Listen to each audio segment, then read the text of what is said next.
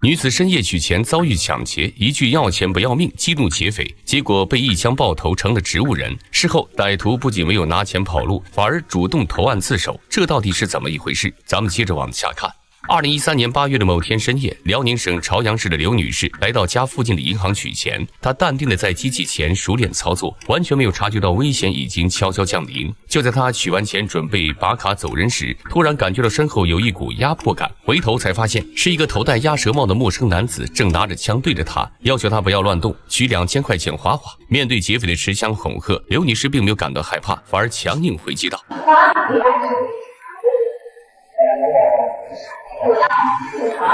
不知道是真虎还是以为对方拿的是玩具枪，刘女士不仅没有向恶势力低头，还很霸气的告诉劫匪自己老公是个警察，企图用这种办法来吓唬对方。但她没想到碰上了个硬茬，劫匪根本没有收手的打算，甚至还有点不耐烦的反问她到底是要钱还是要命。按理说，一般人遇到这种事都是先破财免灾，事后再报警处理，毕竟钱没了还可以再挣。但刘女士误判了当时的情形，直接和劫匪硬刚道：“我不要打手劫匪做梦都没有想到会听到这样的要求，他原本只是想要结一点生活费，被这句话一刺激上头，毫不客气的扣动扳机，朝刘女士的额头来了一枪，紧接着刘女士就倒在墙角，再也没有了动静。这场豪赌，刘女士最终还是赌输了。随后，劫匪火速离开现场，甚至连地上的钱都没有拿走。警察接到报案后，立即赶往了事故现场，并将刘女士送往就近的医院进行紧急抢救。虽然经过手术暂时脱离了生命危险，但因为中弹的部位是额头，造成了严重的颅脑外伤。刘女士最终成为了植物人。就在警方准备对案件展开调查时，凶手居然主动跑来警局自首了。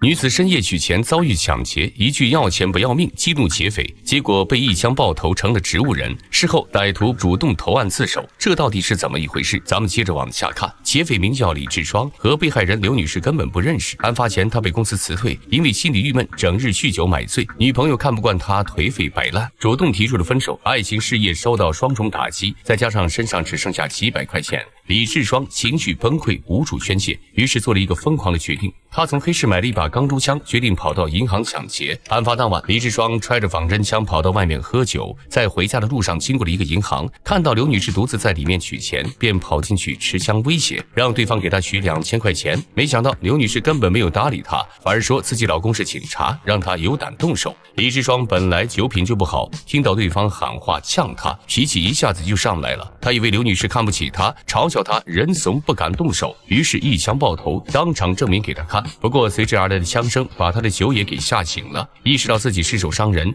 他钱也没顾上拿，就赶紧离开了现场。回到家后，他越想越害怕，赶紧跑到警局自首，希望能够争取从宽处理。经过调查走访，警方发现李志双之所以会走入深渊，其实和他的原生家庭有很大的关系。在他三岁时，母亲因为受不了家暴离婚，扔下他自己走了。他跟着父亲一起生活，但父亲脾气暴躁，整天不是打麻将就是喝酒，常常对他不管不顾，有时还把在外面遇到不顺心的情绪全部发泄在他的身上。后来父亲再婚，娶了一个小十几岁的女人，因为两人的性格不合，李志双的父亲在一次争吵时冲动的把妻子捅死，被判了无期徒刑。在潜移默化下，李志双也受到父亲的影响，变得自卑、敏感、易冲动，甚至产生了暴力倾向。由于法律意识浅薄，他以为自己抢两千块钱不会有什么影响，顶多吃几个月牢饭。可他怎么也没想到，第一次出手就突发意外。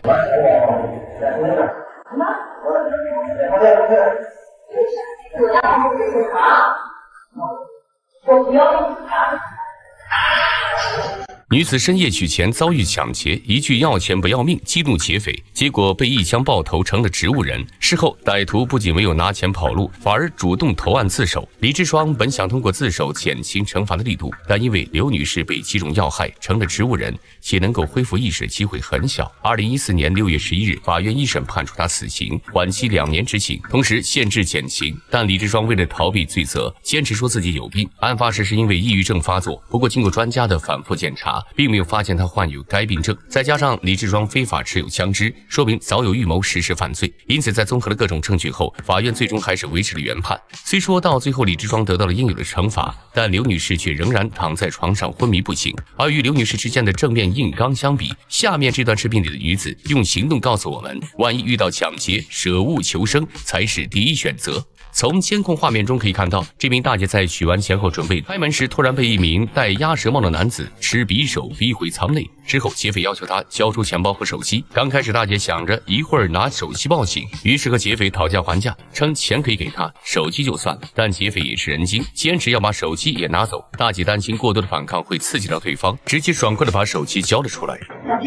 劫匪得手后，迅速逃离了现场。临走时还交代他暂时不要出去。在确认了自己的人身安全后，大姐第一时间报了警，并协助警方指认劫匪。案发三个小时后，嫌犯就成功被逮捕归案。事实上，在遇到此类情况时，正确的做法就是应该像这位大姐一样，尽可能的保持镇静，不要大喊大叫。因为劫匪在作案时内心一般也很紧张，过于惊慌可能会让歹徒失去耐心，甚至为了让人闭嘴而起杀意。他们大部分都是冲着钱来的，所以平静的语气周旋，把对方的特征记下来才是最好的选择。毕竟生命只有一次。本期视频到这里就结束了，喜欢的朋友点赞关注，我们下期再见。